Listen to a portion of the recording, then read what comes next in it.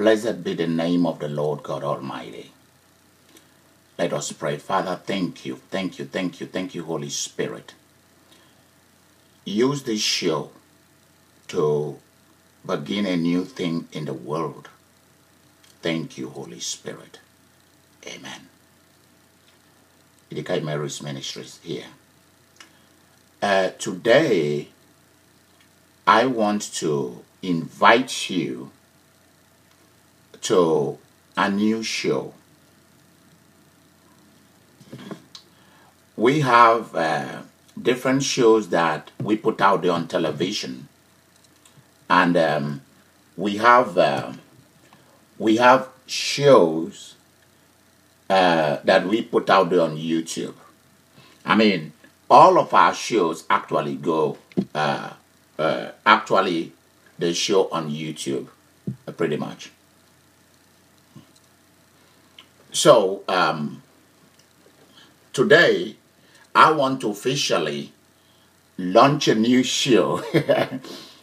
I want to officially launch a new show, and it is called the Holy Ghost Generation. Uh, last week, the Holy Spirit, God is my witness, the Holy Spirit spoke to me and said this You have to aggressively pursue the younger generation and the, the, the middle aged, older ones who are young at heart.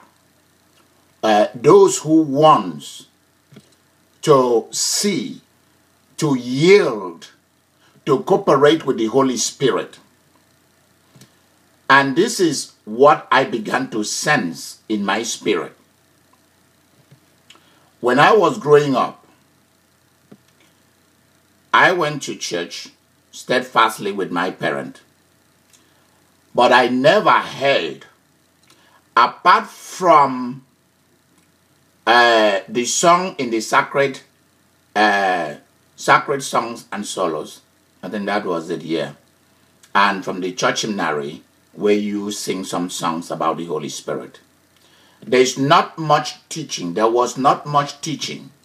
There wasn't much emphasis on the fact that missionary enterprise, devotion to God, the Christian life, battle in the world in the name of God, success, prosperity, riches, wealth, health, and the bringing of the gospel through various means are the work of the mission person, the Holy Spirit. I wasn't told that. In fact, I went through all my notebooks when I was in seminary and throughout my university days, from baccalaureate to the master's program and even to the doctoral program that I am working on by thesis. There is no doctrine about the Holy Spirit that was taught me. There was no doctrine about divine healing. There was no doctrine about raising the dead, cleansing lepers, preaching the good news to the poor. There was nothing about driving out demons. Nothing. Absolutely nothing. In fact, there was nothing even on divine spirituality. Yeah.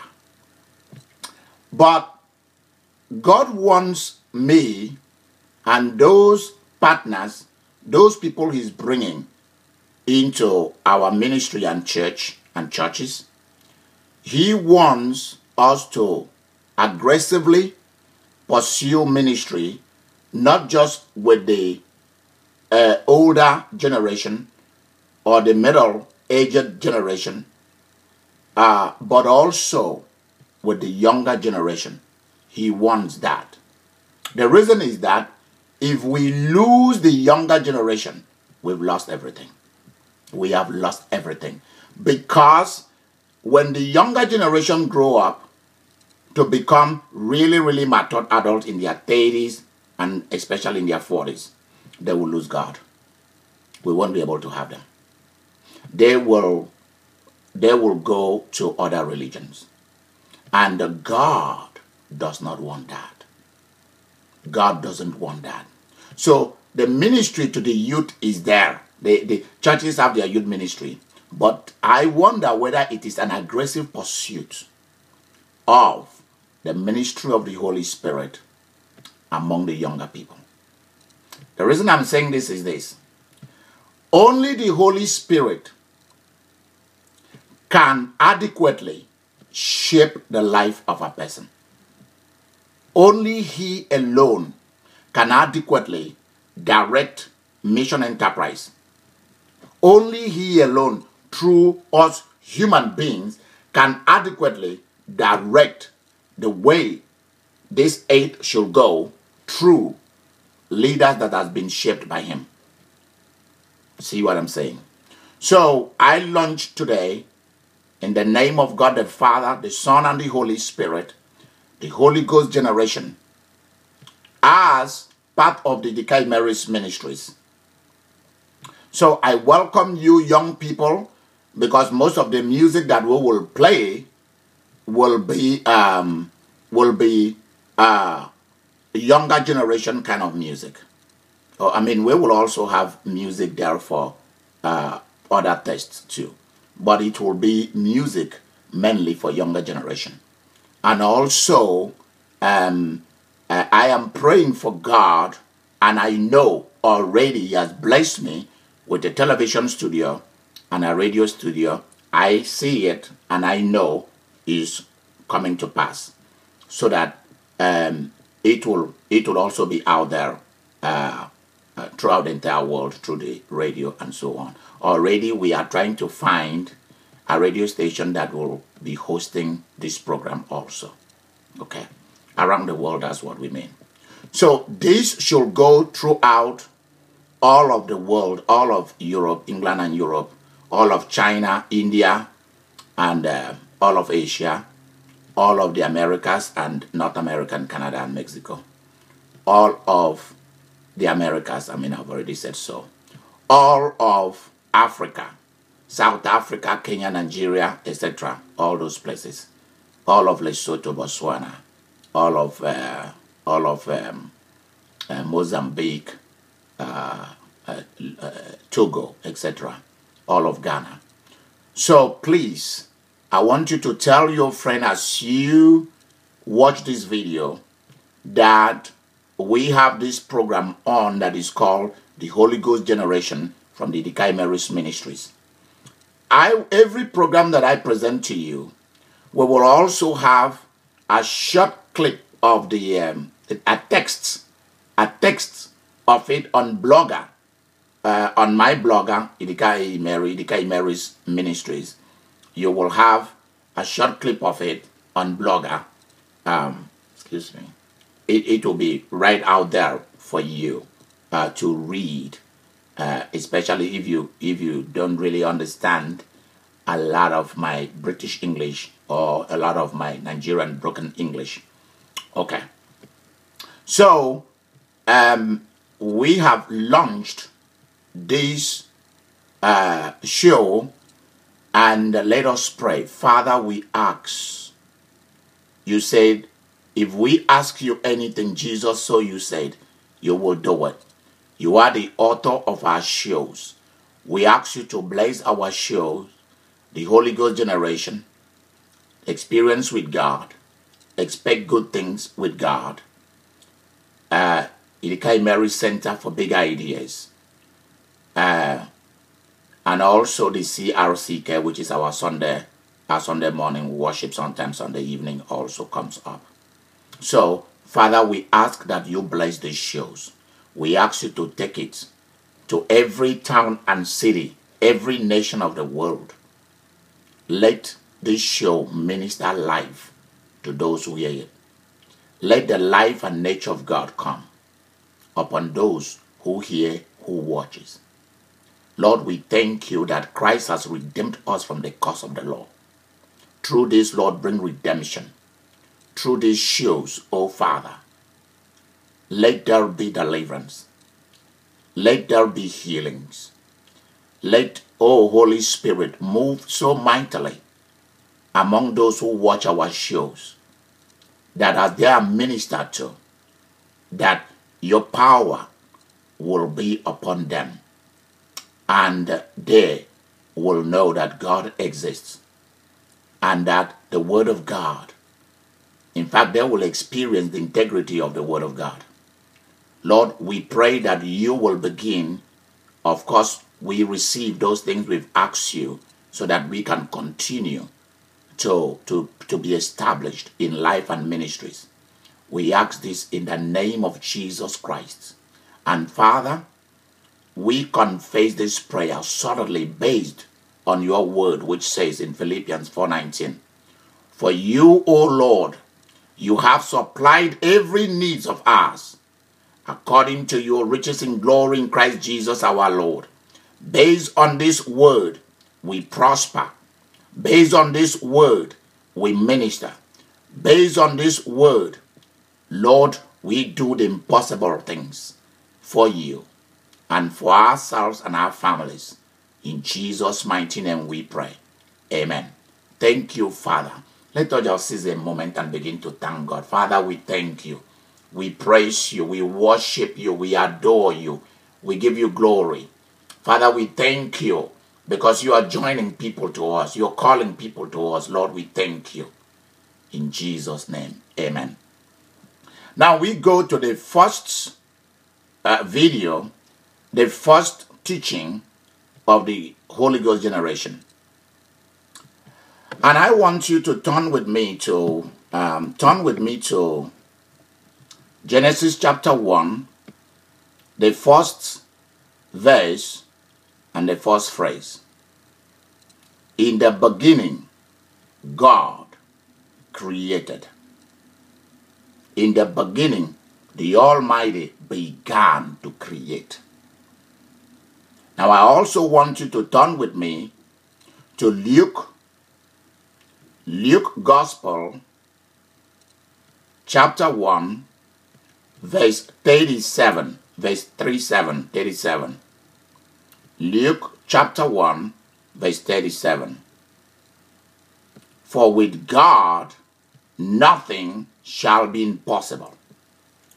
Everything that I will be doing from now on in all of our shows, in all of our teachings, whether on television, whether on YouTube, whether in churches, in conferences, there will always be the Word of God, not just to back it up. Whatever I do, whatever we do as a ministry, must come from the Word of the living God. The reason is because everything in heaven and on earth is subject to the Word of God and to the name of God. Everything is subject. In fact, as one of my favorite preacher puts it, he says, everything is subject to change because of the Word of God. When the Word of God come into contact with anything, that thing is subject to change. Hallelujah. So I am talking to you today about how you can have a possibility mindset. How you can have a possibility mindset.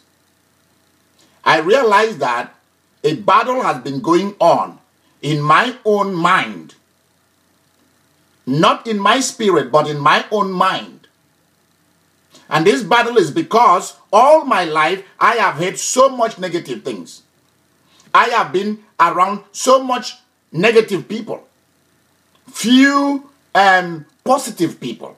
Positive in this way with the Word of God. The music you listen to, the songs you hear, the lyrics you read, what people say is actually very depraved. In fact, when I look up in Isaiah 53, transgression means transgressing the law of God. But when I look up the word um, iniquity, I discover that in the original Greek, it is depravity. The, the, the continuous, insatiable desire in a human being to do something wrong. to always want to do the opposite of what is right many times, many a times, and sometimes really enjoy it and congratulate those who do it. And that is a very false premise to base the notion of existence. Now, the notion of our existence, let's let's let's not talk about the other things, is based on the fact that God exists. God is the beginning. And because God begins, I began. Because God exists, so you exist. Because God exists, I exist. But sometimes you say, I have heard this. What is new about it? Let me tell you what is new about it. What is new about this among the Holy Ghost generation is this. When the Holy Spirit applied the same word that you've been reading all along, revelation comes into it. Not just revelation coming into it, it begins to carry supernatural authority inside you. It begins to flow out of your spirit into your soul. Your soul is where a great battle is taking place. Because what you've accumulated, the negative influences you've accumulated over the years makes create a war between the spiritual life of God and what is not of God.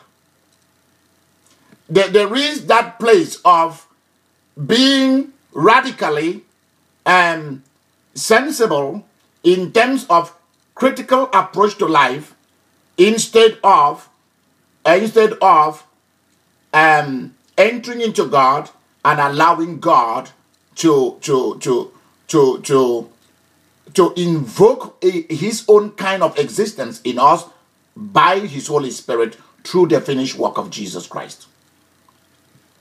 So let me say this to you. God calls you and I to a life in which we believe that all things are possible. That in the sight of God, there is nothing that is impossible with God. Therefore, there is nothing impossible with you to accomplish in life. God is my witness. Verily, verily, I say to you that you can accomplish that task ahead of you. There is no use being afraid of entering into things that looks impossible. Now, when you go to big cities, you look at the skyscrapers, you look at the the, the, the locomotive, the, the train, the, the different the business of you see what human beings have done. Or you go to uh, uh, uh, some of the international airports and you see plane taking off, take flight, going down, going up. You you look at the, the, the science and technology where we've gone in life. It is because human beings believe they persisted and believe that they can accomplish that, and so they persisted and it came to pass.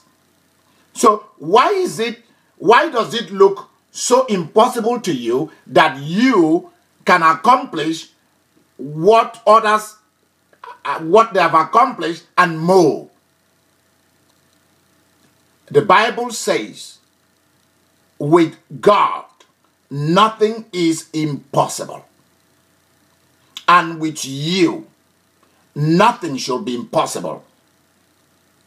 If you can if you can see it, feel it, and many a time I will tell you, put it down on paper, type it up in, in, in your modern gadgets or in your laptop or computer, and go through it over and over again until it sink into your soul, on into your mind realm. Now, in this our program, we will be, we will out of every topic that we share, like what we are sharing with you today, with God, nothing shall be impossible. In the beginning, God created. We will make out a mantra. We will make out uh, a confession. We will make out a confession or a mantra. You see, when I went through, when I lived in California some years back, I discovered almost all of our streets. There, there are few places you go to in California you will not see yoga yoga place a place for yoga strong presence of buddhism even though some of the yoga places uh, try to remove themselves from Buddhism and just make it an exercise thing. But really, Hinduism and Buddhism is strongly part of this part of the spirit behind it or part of what is in it. Part part of how it came about. And the and the qualitative things behind it is really Hinduism and Buddhism. But I want you to begin as God blesses you with opportunity to begin to follow our videos, to begin to follow what we are doing. So that you have a mantra, you have a confession, something that you can say. Because when you say it, it becomes powerful. If you do not say it, it the the the the the, the, the, the power of the word of God to accomplish something in you and outside you is limited if you do not say it, either with your mouth or with your heart or from deep within you. And nothing shall stand between you and the word when it is spoken. Because the spoken word is the thing. When I will start teaching on the power of a word, you will understand what I mean. Yeah, you will understand what I mean. I've also been able to share with some of my friends that I've said to them, listen, don't be angry with me if I don't call you, and so on and so forth. They do not know that it's because there are certain things I do not want to be hearing anymore in my lifetime. The reason is that I want people that I can enjoy. They, they, they, they, they inspire me.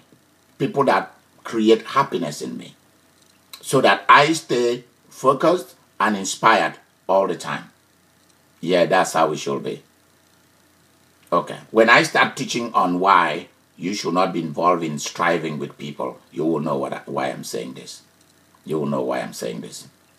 Now, let's go to the let's go to the mantra or to the confession for today. I want you to repeat after me. God exists in me I accomplish the impossible. God exists in me. Repeat it after me. God exists in me. I accomplish the impossible. I want you to think about it. I want you to say it over and over again because it is from that word of God that with God nothing is impossible. For me, this is how I say it. Because God exists in me and I exist in God. And we, because with him nothing is impossible. Therefore, I can accomplish impossible things. Hallelujah. Hallelujah. Hallelujah. I want to share this with you. Please,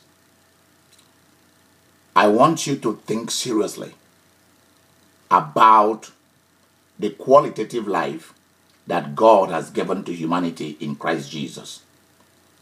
If you doubt the existence of Jesus, find somewhere where you are on your own and lift your hand up to heaven and look up to heaven and say, either in your heart or openly, and say, Jesus, if you exist, reveal yourself to me in one way or the other. Let me know you exist. And for those of you who have already received the life and nature of God, that is, inviting the King, that's Jesus, to come and live in you, and you want to be baptized with the Holy Spirit, I'm going to pray for you. Holy Spirit, pour yourself like rain upon these people who are crying out because they want more of God, they want more of you. Amen. Amen. And don't forget to repeat it. God exists in me. I accomplish the impossible. This is Idika Imeri saying to you, I will see you. I will see you next time on the Holy Ghost generation.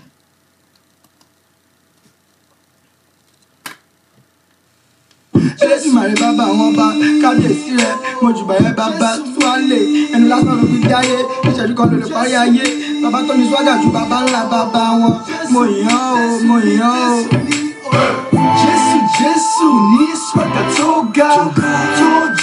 Ọba ọba má bàjá má bàjá má bàjá. Ọmọ má bàjá má bàjá. Jésù jésù ní swaga tó ọba ọba má bàjá má bàjá má bàjá. Ọmọ má bàjá má bàjá. Jésù.